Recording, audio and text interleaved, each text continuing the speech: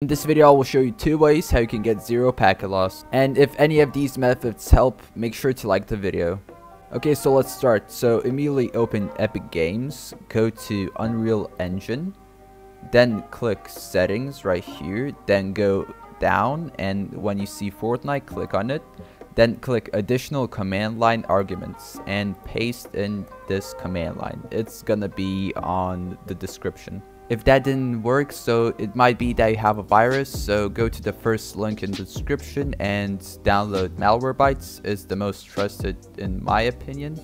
And immediately go to scanner and scan if you have a virus or your PC has any issues.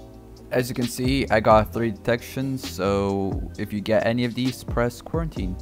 And that's it.